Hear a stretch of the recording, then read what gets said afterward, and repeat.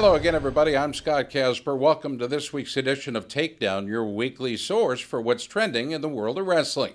Well, if you want to be a winner, you have to make some waves. After a decade of steady decline, the ISU athletic department decided to do just that, hiring four former Hawkeyes to guide the program back from the depths of Division One wrestling. Only time will tell if they can accomplish that feat, but for now, it's created a new sense of excitement at Iowa State. Uh, so before I introduce them, I'm going to start with uh, my associate, my new associate head coach, Mike Zadick, to my left. Uh, two things that I really want to address, uh, and first off is the elephant in the room. Uh, we got three guys that uh, grew up wearing black and gold. That's the elephant in the room, right? And we got three guys that look pretty daggone good in cardinal and gold right now. And I, I'm in talking to them, I, I think that they will assure you how much they were on board. And so that's maybe a bit of a little bit of a comment to the Cyclone Nation out there that uh, I could tell you in just our, our meetings and being together the last 24 hours how excited these guys, and I think you'll see that out of them, are to be at Iowa State. Um, So uh, that's the first thing. And and the second thing, and uh, we've communicated this as a staff, and I think you'll find that out, and I know there'll be some media questions about this as to whose role is this and what this title is. Uh, This isn't about titles or job titles. This is four guys uh, putting their head down, going to work. And everybody's equally important, and everybody's going to be working with the RTC guys. Everybody's going to be working with the team. Everybody's going to be involved in recruiting, and that's what's going to make us great. Uh, Thank you very much. Um, I guess first is, uh, I I really appreciate and want to thank Coach Dresser. Uh, Coach, um, like he said, brought me out of the mountains into the coaching world again. I enjoyed it, and I really thank Virginia Tech for the opportunity there, first and foremost, and and wish him the best. And then moving forward, thanking um, Pollard and uh, Iowa State University here for the opportunity to come over here with Coach Dresser and continue to build something that relationship I think is important that uh, Coach Dresser's had with me and and then also the staff that uh, we had along with us there. So I'm excited for that. As far as this program, um, obviously we have high goals and like he said, building those relationships with our athletes first and foremost, getting to know each other, building that trust, and and moving forward. Um, 57th in the country right now. There's a lot of work to do, and that's what we're here to do. And um, do we know a plan of attack? We know what we know about the sport of wrestling, all, all four of us, and we're going to implement that the best we can, and results will speak for it. And I'm not making any predictions by any means, but that's the job at hand right now, and we're just up for the adventure and the opportunity to do it here as, as Cyclone. So that, to me, is uh, probably the most exciting thing in our near future, and, and thanks for having us on board. Really, this hasn't really set in for me yet, so you have to forgive me. But, um, you know, being born and raised in the state of Iowa, I'm really, really, truly excited to come back and be involved with the state of Iowa and Iowa State. And uh, I got to thank Dresser for bringing me along and Pollard for bringing me along. And, you know, my network in the state of Iowa, you know, I've been here my whole life, so really it's consumed my life, wrestling and uh, looking to expand my coaching career. You know, um, I am very, very excited for the things that we have moving forward and with our relationship between Dresser and Zadick and myself with working together the last two years. Um, we've obviously done some really great things, and uh, we look to continue to build those things here as well. Thank you. I'm excited about this opportunity. Um, first thing I'd like to say is I'd like to thank USA Wrestling for the opportunity that they had given me. Um, obviously, this was a, a big mix-up as far as my family's plans and what was going to move forward, and it kind of all happened quick. But I am very excited about the opportunity.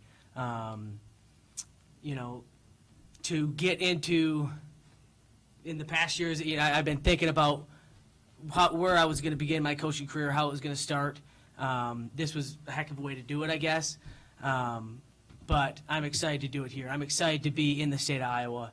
Um, I was speaking last night to some some people and talking about the pride that this state has about the sport of wrestling, and how fun it is to be in this state when you are a wrestler, where you're really appreciated um, for the work that you do, for the performance that you do. Um, it's a really exciting state to be a part of. So I am glad to be a part of it. Um, I'm excited about this opportunity. I want to thank you guys um, for, I don't know, taking the chance I mean, is the right word, but reaching out to me um, and knowing I would be susceptible to uh, to an idea like this, and I'm really excited about it.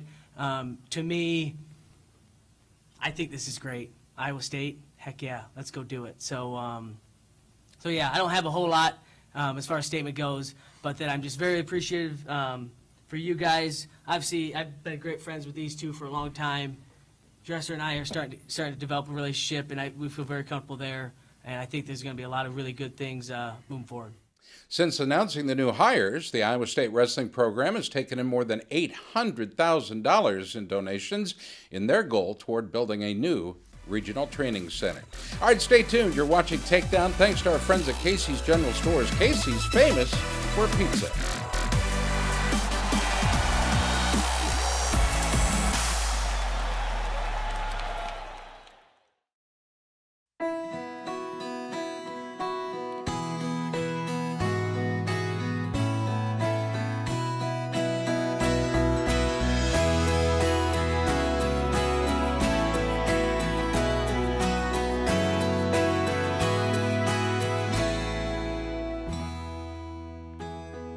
Right now, get a free 2 liter with the purchase of any large pizza. Casey's, famous for pizza. Yellow Blue wants to show you global energy demands are expanding at an alarming rate. Power grids in the U.S. are aging while coal plants continue to close at record rates. Utility rates are at an all time high and there's no end in sight. If this concerns you, call Yellow Blue, delivering products and services that are not only green but cost effective. You can be independent, safe, and secure. We'll show you how at yellowbluetech.com.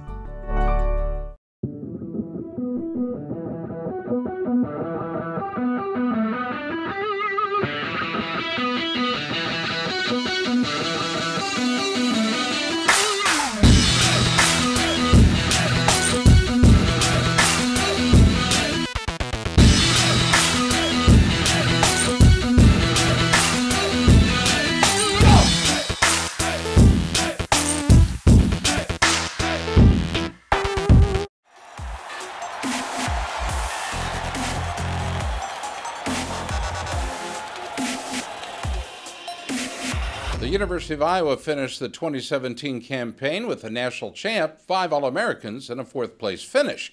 But with four senior All Americans no longer in the lineup, the Hawks will have a whole new look in 2018. In this takedown exclusive, we talked with head coach Tom Brands about the health of his heavyweight and the future faces of Hawkeye Wrestling. You know, you don't realize the significance of a guy like Sam Stoll. Sam Stoll is coming along fine, and he's an anchor to our team. He's a leader. Uh, he's a heavyweight that's exciting to watch. He's a He active heavyweight, and uh, he's vital to our future. And he's coming along great. You know, who are the guys looking to take over the for those veterans? I mean, can can uh, Philip make down? Can he get down to twenty five? Uh, I think his strongest weight is 133. Uh, um, you know, if you look at how he progressed and how he stepped in for Corey, the times he did, I think 133 is his weight class. I don't think it's a matter of necessarily deciding where he's going right now, but right now I would I would say if you're asking the question, he's probably stronger at 133. Uh, we have a, a fella by the name of Perez Perez at 125. Um, he's coming along, nicely. We have a, a fella by the name of Spencer Lee coming into our program.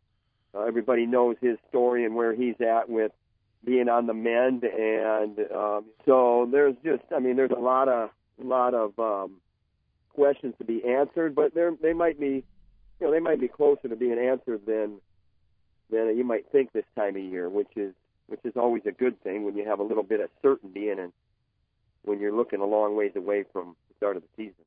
Tom and Terry Brands, Cael Sanderson, Tom Ryan, and Kevin Dresser. There's one thing the top coaches in the country all have in common, and that's a connection to the iconic Dan Gable.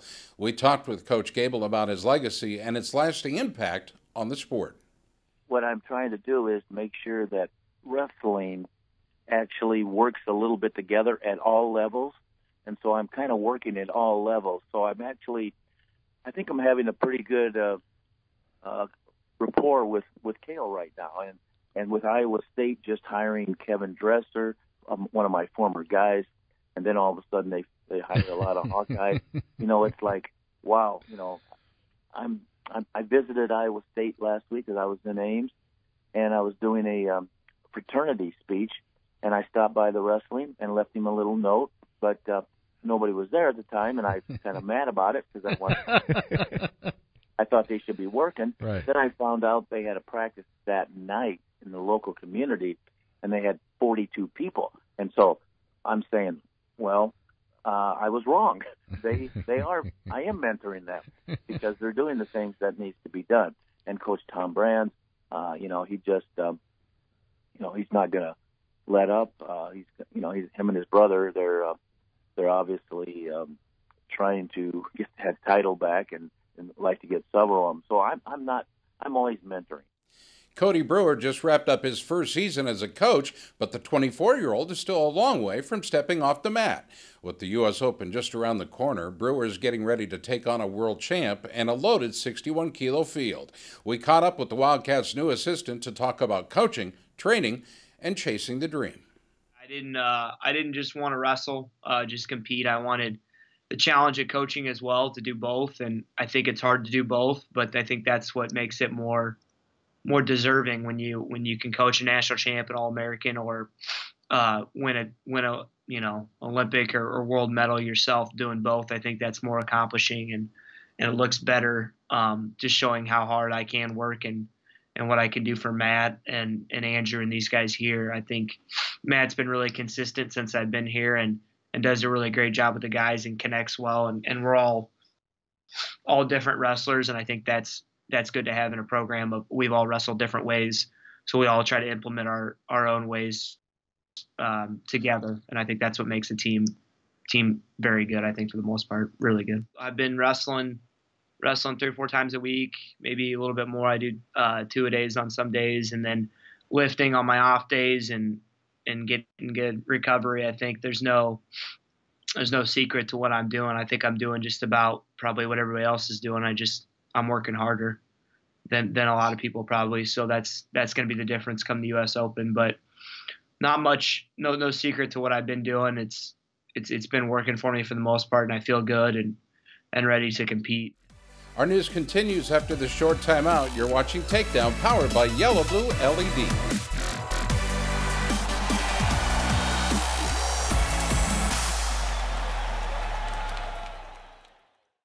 Wow, 40 years. Time really flies. Don't seem like it's been that long. It seemed like only yesterday that I started out route delivering it to the stores. For over 40 years, we're really proud to keep the same quality ingredients and not change our recipe. Help us celebrate our 40th anniversary by joining into our cookies recipe contest with a chance to win a Traeger Bronson 20 smoker. You can enter it on our Facebook page or cookiesbbq.com. Thanks for 40 years, and we'll see you in another 40 years. Cookies is the one.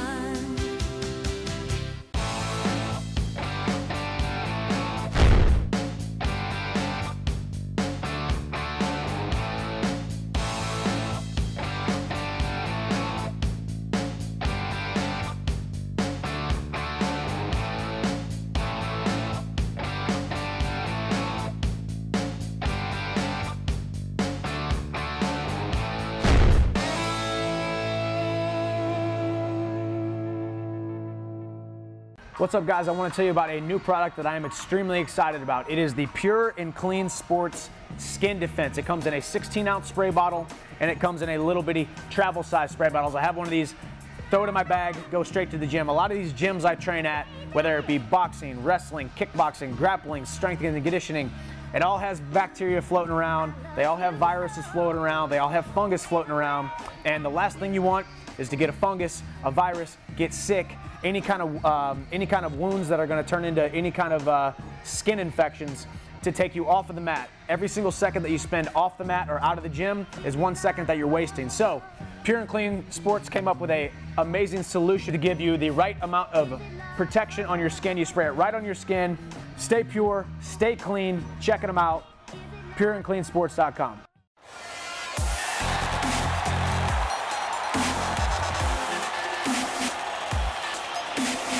All right, welcome back to Takedown. Our coverage continues in Blacksburg, Virginia, home of the Hokies and their new assistant coach, Frank Molinaro. He joins us now. Frank, welcome to the show. How are you?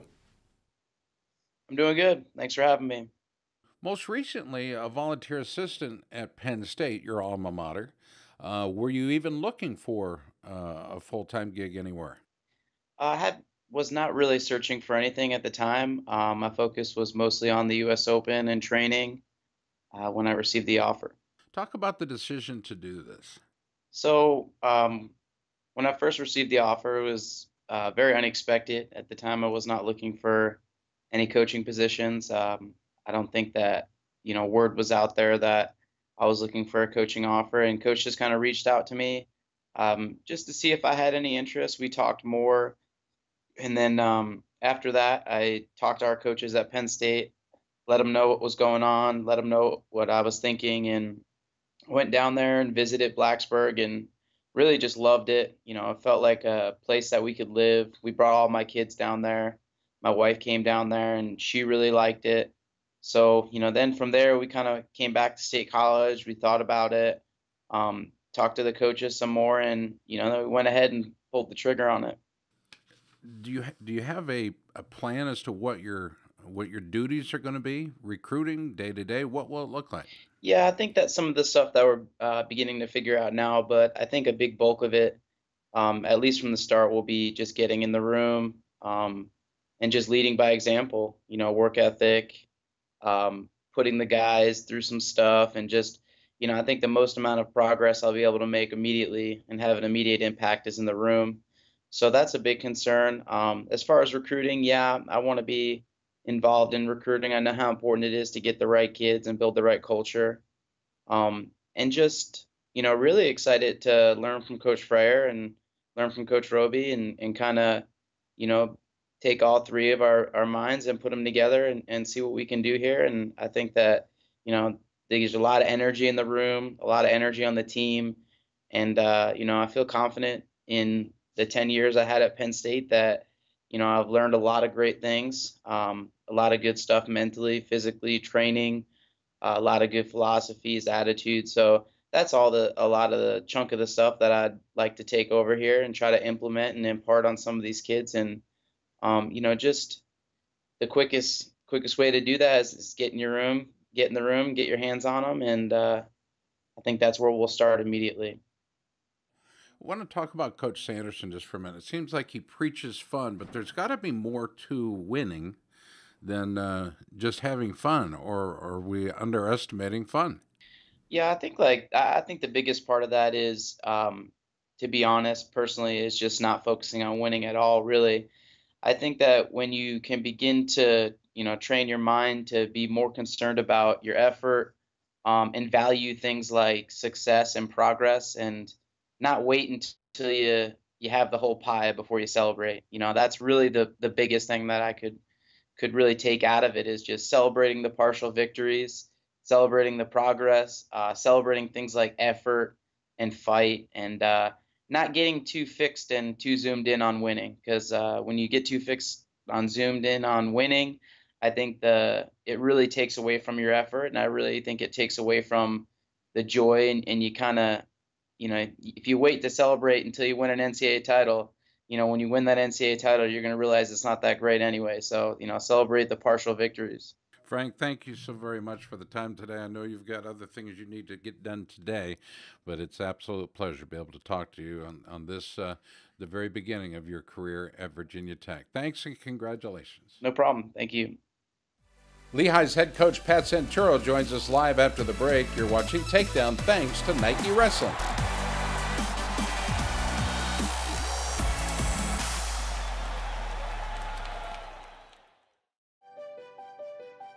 The Coke business is, it's all about families and it's a fun business. We have a lot of great people working for us. Uh, about 26% of our workforce has worked for us over 20 years or longer and we take a lot of pride in that.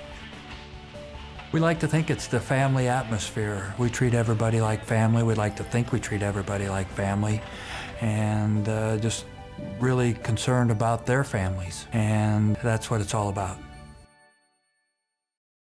The war raged for generations. No amount of bravery and conviction could end the infected, unyielding rage. And with every battle, the evil grew changed, evolved. The Warriors needed nothing short of a miracle to stop the infection, and a miracle they received. Your body is at war against skin infections and diseases each time you step onto the mat. Protect yourself against the invasion. Defense Soap. Defend what you have built.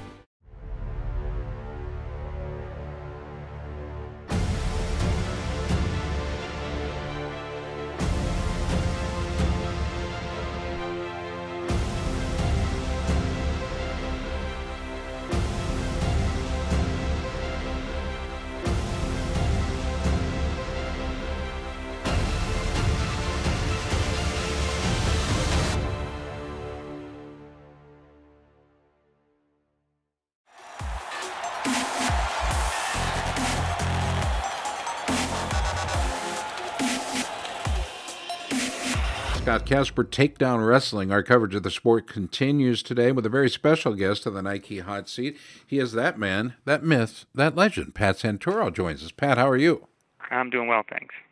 So, this commitment, um, I think, really says a lot of things. It's a commitment to Lehigh and to Pat Santoro from Lehigh. Uh, there was some conversation about you perhaps going to Pitt. Uh, how did that, that conversation even start, and how did Pitt reach out to you? Uh, honestly, I got a gosh, maybe with gosh, sometime in February, I got a call from their associate AD at the time, and he said, "This is just a call of interest. We're just we're going to interested, and we're going to respect your season. We want to contact you after the season is over." And I said, "Great," and I appreciate it. And that was it was literally a two-minute conversation, and that was from there. A lot of rumors started. Um, actually, it was kind of interesting to see some of the rumors that were out there and and how in depth they were. But it was literally about a two or three minute conversation I had with their their interim AD at the time. Was a rumor out there that there was this massive contract written up and uh, by Pitt. Can you silence those rumors? There was never a contract. Um, it was there was never an offer. It was just a, a, a call of interest, and after the season, they wanted me to come out there for the day and that's all it was. Um, but there was never, yeah, and it's unfair to Pittsburgh too. I mean, um, Pitt did the right thing. Um, they they they didn't contact me until after the season was over, and it was very quick. It was one day, you know, going up there and coming back. Uh, but there was never an offer made. There was no big contract. I think there's a big number out there, and I think a lot of people are thinking, "Oh, it's a great job," and, and it, a little bit it's unfair to University of Pittsburgh because um, they are doing some. I think they're they're going to do some big things there, and they they want to hire a great coach. They want they want to go in the right direction. So it's it's a great place. Um, but uh, some of the rumors out there, you know, like I said, are probably aren't fair to Pitt.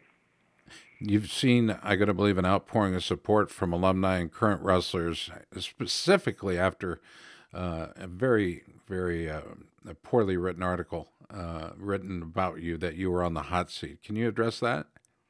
Um, I guess yeah. I guess I woke up the Monday after NCAs and I got a text message from you know one of our former wrestlers, and he was just like, I can't believe I wrote this. I had no idea because I don't get a paper. And then he he sent me the link and I read it and I was like, well, maybe I'm out of a job. I didn't know. You know, you just never know. And then um, within gosh, within 30 minutes, I heard from our athletic director who was out of town, and he's like, that is not true. That's not our sentiment, which was great to hear. And then, you know, Mike Caruso, who's been a great supporter of the program, he, you know, he had me over to his house for a few hours that day, and we talked. And then President Simon reached out, and we had lunch together. It was just a, I heard a, couple of board of directors reached out to me, board of trustees, I mean, and it was it was pretty amazing the outpouring. I had no idea because usually you only hear the negative. You get an email here or there um, when you get from fans, which is that's their right.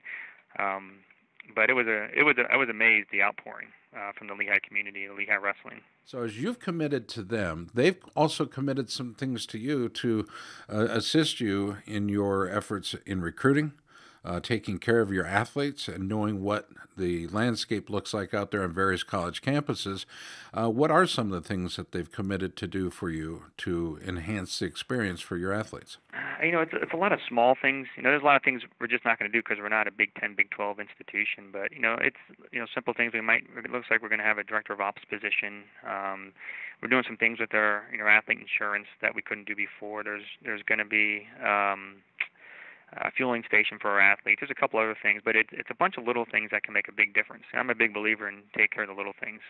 Pat. We appreciate you taking the time to jump into the Nike hot seat with us today and dispel some rumors and clarify some points. But more than anything, from us, congratulations on a job well done.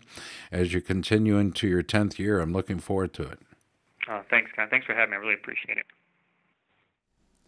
All right, special thanks to coaches Santoro, Brands, Brewer, Gable, and all the great guests who joined us on the show. Make sure to check out takedownwrestle.com for the breaking wrestling news, the complete interviews, articles, and a whole lot more. From our studios in Des Moines, Iowa, I'm Scott Casber. Thanks for watching. We'll see you next week.